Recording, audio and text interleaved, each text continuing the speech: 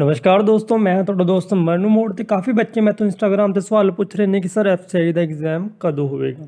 ਇਸ ਬਾਰੇ ਆਪਾਂ ਵੀਡੀਓ ਵਿੱਚ ਗੱਲ ਕਰਾਂਗੇ ਤੇ ਇਸ ਤੋਂ ਇਲਾਵਾ ਕਾਫੀ ਬੱਚੇ ਨੇ ਸਵਾਲ ਆ ਰਹੇ ਨੇ ਕਿ ਸਰ ਐਫਸੀਆਈ ਦੇ ਐਗਜ਼ਾਮ ਦੀ ਪਰਫੈਕਟ ਤਿਆਰੀ ਵਾਸਤੇ ਬੈਸਟ ਬੁੱਕ ਕਿਹੜੀ ਹੈ ਤਾਂ ਉਸ ਆਪਾਂ ਬੈਸਟ ਬੁੱਕ ਬਾਰੇ ਵੀ ਗੱਲ ਕਰਾਂਗੇ, ਕਿਹੜੀ ਬੁੱਕ ਤੁਹਾਨੂੰ ਐਗਜ਼ਾਮ ਕੁਆਲੀਫਾਈ ਕਰਨ ਵਿੱਚ ਹੈਲਪ ਕਰ ਸਕਦੀ ਹੈ ਉਸ ਤੋਂ ਬਾਅਦ ਆਪਾਂ ਐਗਜ਼ਾਮ ਵਿੱਚ ਆਉਣ ਵਾਲੇ important and expected question cover ਕਰਾਂਗੇ। ਕਾਫੀ ਬੱਚੇ ਮੈਥੋਂ ਪੁੱਛਦੇ ਨੇ ਕਿ ਸਰ ਤੁਹਾਡੇ ਕੁਐਸਚਨ ਜੋ ਵੀ ਤੁਸੀਂ ਪ੍ਰੋਵਾਈਡ ਕਰਾਉਂਦੇ ਹੋ ਕਾਫੀ ਨਏ ਹੁੰਦੇ ਨੇ ਜੋ ਅਜ ਤੱਕ ਅਸੀਂ ਕਦੇ ਰੀਡ ਨਹੀਂ ਕੀਤੇ ਹੁੰਦੇ। ਦੇਖੋ ਦੋਸਤੋ, ਮੈਂ ਵਰਕ ਹਾਰਡ ਵਿੱਚ ਬਲੀਵ ਨਹੀਂ ਕਰਦਾ, ਮੈਂ ਸਮਾਰਟ ਵਰਕ ਵਿੱਚ ਬਲੀਵ ਕਰਦਾ। ਮੈਂ ਕੁਐਸਚਨ ਉਹ ਤੁਹਾਨੂੰ ਪ੍ਰੋਵਾਈਡ ਕਰਵਾਉਣਾ ਹੁੰਨਾ ਜੋ ਪ੍ਰੀਵੀਅਸ ਐਗਜ਼ਾਮ ਵਿੱਚ ਆਏ ਨੇ। ਮਤਲਬ ਐਗਜ਼ਾਮਪਲ ਦੇ ਤੌਰ ਤੇ ਆਪਣਾ ਇੱਕ ਕੁਐਸਚਨ ਹੈ, ਇਹ 34 ਨੰਬਰ ਕੁਐਸਚਨ ਹੈ ਜਿਹੜਾ ਇਹ ਭਾਰਤੀ ਸੰਵਿਧਾਨ ਕਦੋਂ ਅਪਣਾਇਆ ਗਿਆ ਸੀ, ਤਾਂ ਇਹ ਪ੍ਰੀਵੀਅਸ ਕੁਐਸਚਨ ਵਿੱਚ ਆਇਆ ਸੀ।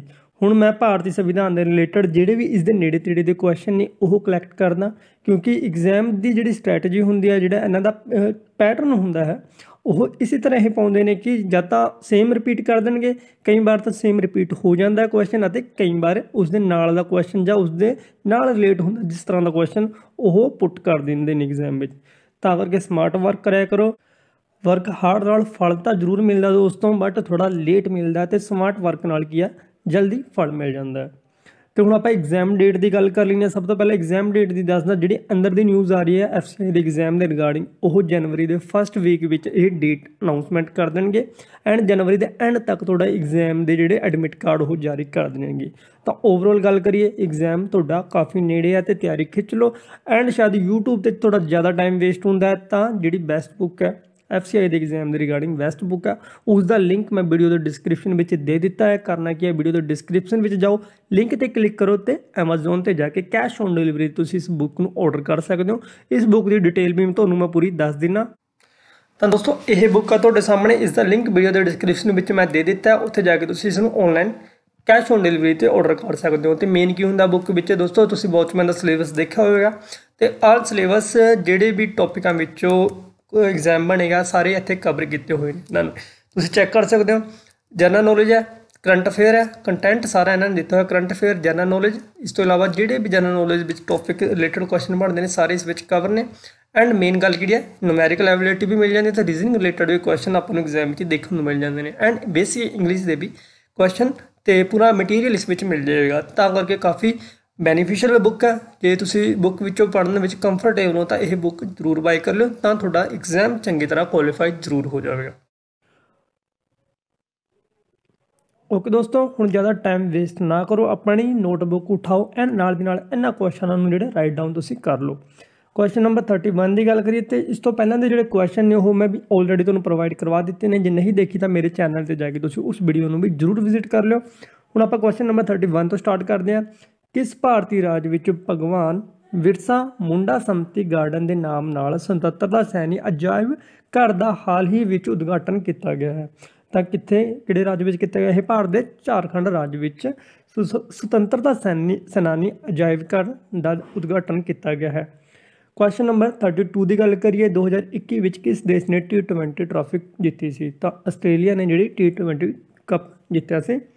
ਕੁਐਸਚਨ ਨੰਬਰ 33 ਦੀ ਗੱਲ ਕਰੀਏ ਕਿਸ ਰਾਜ ਨੇ ਕੇਸਰ ਇਹ ਹਿੰਦ ਨੂੰ ਰਾਜ ਤਿਤਲੀ ਵਜੋਂ ਪ੍ਰਵਾਨਗੀ ਦਿੱਤੀ ਹੈ? ਤਾਂ ਅਰੁਣਾਚਲ ਪ੍ਰਦੇਸ਼ ਨੇ ਕਾਫੀ ਨਿਊਜ਼ ਵਿੱਚ ਰਹੀ ਹੈ, ਇਹ ਤਾਂ ਕਰਕੇ ਐਗਜ਼ਾਮ ਵਿੱਚ ਕੁਐਸਚਨ ਬਣ ਸਕਦਾ ਐਂਡ ਇੱਕ ਗੱਲ ਹੋਰ ਦੋਸਤੋ, ਜੇ ਤੁਸੀਂ ਸਾਡਾ WhatsApp ਗਰੁੱਪ ਨਹੀਂ ਜੁਆਇਨ ਕੀਤਾ, ਤਾਂ ਲਿੰਕ ਵੀਡੀਓ ਦੇ ਡਿਸਕ੍ਰਿਪਸ਼ਨ ਵਿੱਚ ਹੈ, ਜਾ ਕੇ WhatsApp ਗਰੁੱਪ ਨੂੰ ਵੀ ਜਰੂਰ ਜੁਆਇਨ ਕਰ ਲਿਓ। ਕੁਐਸਚਨ ਨੰਬਰ 34 ਦੀ ਗੱਲ ਕਰੀਏ, ਭਾਰਤੀ ਸੰਵਿਧਾਨ ਕਦੋਂ ਅਪਣਾਇਆ ਗਿਆ ਸੀ? ਤਾਂ ਇੱਥੇ ਲਾਗੂ ਬਾਰੇ ਨਹੀਂ ਪੁੱਛਿਆ, ਯਾਦ ਰੱਖਿਓ ਐਗਜ਼ਾਮ ਵਿੱਚ ਦੋ ਟਾਈਪ ਦੇ ਕੁਐਸਚਨ ਬਣਦੇ ਨੇ। ਭਾਰਤੀ ਸੰਵਿਧਾਨ ਕਦੋਂ ਲਾਗੂ ਹੋਇਆ ਸੀ ਤੇ ਕਦੋਂ ਅਪਣਾਇਆ ਗਿਆ ਸੀ? ਮਤਲਬ ਅਡਾਪਟ ਕੀਤਾ ਗਿਆ ਸੀ। ਤਾਂ 26 ਨਵੰਬਰ 1949 ਨੂੰ ਅਡਾਪਟ ਕੀਤਾ ਗਿਆ ਸੀ ਯਾਨੀ ਅਪਣਾਇਆ ਗਿਆ ਸੀ। ਕੁਐਸਚਨ ਨੰਬਰ 35 ਦੀ ਗੱਲ ਕਰੀਏ। ਭਾਰਤੀ ਸੰਵਿਧਾਨ ਵਿੱਚ ਸਾਡੇ ਮੌਲਿਕ ਅਧਿਕਾਰਾਂ ਦੀ ਗਿਣਤੀ ਕਿੰਨੀ ਹੈ ਤਾਂ ਜਿਹੜੇ ਆਪਣੇ ਫੰਡਾਮੈਂਟਲ ਰਾਈਟਸ ਨੇ, ਉਹ ਟੋਟਲ 6 ਨੇ ਭਾਰਤੀ ਸੰਵਿਧਾਨ ਵਿੱਚ।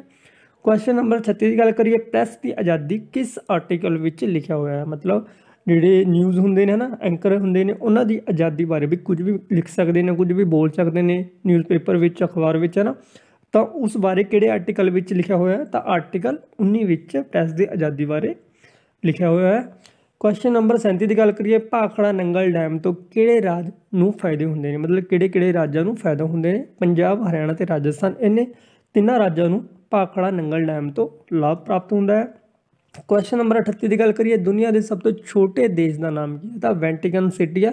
ਕਾਫੀ ਈਜ਼ੀ ਕੁਐਸਚਨ ਹੈ ਤੇ ਕਾਫੀ ਵਾਰ ਰਿਪੀਟ ਹੋ ਚੁੱਕਿਆ ਹੈ, ਤਾਂ ਕਰਕੇ ਯਾਦ ਰੱਖਿਓ। ਖੇਤਰਫਲ ਦੇ ਹਿਸਾਬ ਨਾਲ ਵੈਂਟੀਕਨ ਸਿਟੀ ਸਭ ਤੋਂ ਛੋਟਾ ਰਾਜ ਛੋਟਾ, ਛੋਟੀ ਕੰਟਰੀ ਹੈ। ਕੁਐਸਚਨ ਨੰਬਰ 39 ਦੀ ਗੱਲ ਕਰੀਏ, ਭਾਰਤ ਸੰਵਿਧਾਨ ਦੇ ਆਰਟੀਕਲ ਨੰਬਰ 4 ਵਿੱਚ ਕੀ ਦੱਸਿਆ ਗਿਆ ਹੈ? ਆਰਟੀਕਲ 4 ਵਿੱਚ ਕੀ ਦੱਸਿਆ ਹੈ ਕਿ ਇਹ ਰਾਜਾਂ ਦਾ ਕੌਂਸਲ ਆਰਟੀਕਲ 4 ਕੀ ਕਹਿੰਦਾ ਇਹ ਰਾਜਾਂ ਦੀ ਕੌਂਸਲ ਵਿੱਚ ਸੀਟਾਂ ਦੀ ਵੰਡ ਕਰਦਾ ਹੈ।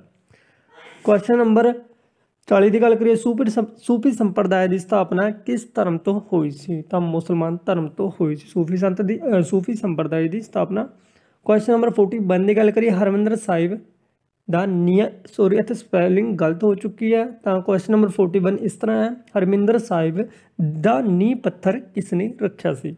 ਤਾਂ ਸੂਫੀ ਸੰਤ ਮੀਆਂ ਮੀਰ ਨੇ ਜਿਹੜਾ ਹਰਮਿੰਦਰ ਸਾਹਿਬ ਦਾ ਨੀ ਪੱਥਰ ਰੱਖਿਆ ਸੀ। ਇਹ ਵੀ ਕੁਐਸਚਨ ਕਾਫੀ ਵਾਰ ਰਿਪੀਟ ਹੋ ਚੁੱਕਾ ਹੈ। ਕੁਐਸਚਨ ਨੰਬਰ 42 ਦੀ ਗੱਲ ਕਰੀਏ, ਅਕਬਰਨਾਮਾ ਕਿਸ ਦੁਆਰਾ ਲਿਖਿਆ ਗਿਆ ਸੀ? ਤਾਂ ਅਬੁਲ ਫਜ਼ਲ ਦੁਆਰਾ ਅਕਬਰਨਾਮਾ ਲਿਖਿਆ ਗਿਆ ਸੀ। ਕੁਐਸਚਨ ਨੰਬਰ 43 ਦੀ ਗੱਲ ਕਰੀਏ, ਮੁਗਲ ਸਮਰਾਜ ਦਾ ਪਹਿਲਾ ਸ਼ਾਸਕ ਕੌਣ ਸੀ? ਤਾਂ ਬਾਬਰ ਮੁਗਲ ਸਮਰਾਜ ਦਾ ਪਹਿਲਾ ਸ਼ਾਸਕ ਸੀ। ਕੁਐਸਚਨ ਨੰਬਰ 44 ਦੀ ਗੱਲ ਕਰੀਏ, ਕਰੋ ਯੋ ਮਰੋ ਦਾ ਨਾਰਾ ਕਿਸ ਨੇ ਦਿੱਤਾ ਸੀ?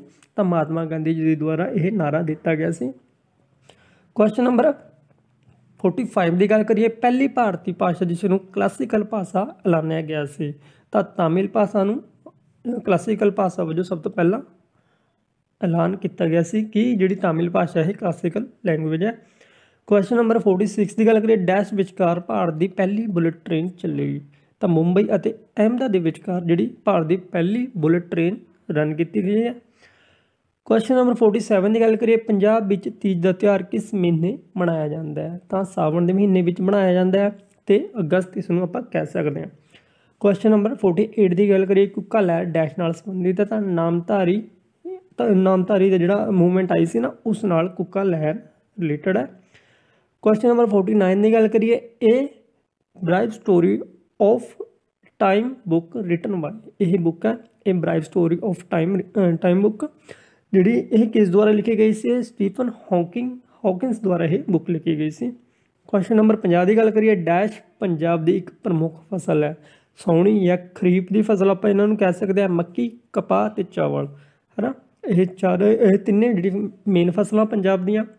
ਕੁਐਸਚਨ ਨੰਬਰ 51 ਦੀ ਗੱਲ ਕਰੀਏ, ਰਾਸ਼ਟਰੀ ਵਿਗਿਆਨ ਦਿਵਸ ਕਦੋਂ ਮਨਾਇਆ ਜਾਂਦਾ? ਕਾਫੀ ਵਾਰ ਰਿਪੀਟ ਹੋ ਚੁੱਕਾ ਹੈ ਕੁਐਸਚਨ ਟੌਪ ਇੰਪੋਰਟੈਂਟ ਕੁਐਸਚਨ ਹੈ ਤਾਂ 28 ਫਰਵਰੀ ਨੂੰ ਰਾਸ਼ਟਰੀ ਵਿਗਿਆਨ ਦਿਵਸ ਮਨਾਇਆ ਜਾਂਦਾ ਹੈ। ਕੁਐਸਚਨ ਨੰਬਰ 52 ਦੀ ਗੱਲ ਕਰੀਏ, ਡੈਸ਼ ਨੂੰ ਪੰਜਾਬੀ ਲਿਪੀ ਕਿਹਾ ਜਾਂਦਾ ਹੈ। ਗੁਰਮੁਖੀ ਨੂੰ ਹੀ, ਗੁਰਮੁਖੀ ਤੋਂ ਹੀ ਪੰਜਾਬੀ ਲਿਪੀ ਦਾ ਨਿਰਮਾਣ ਹੋਇਆ ਹੈ।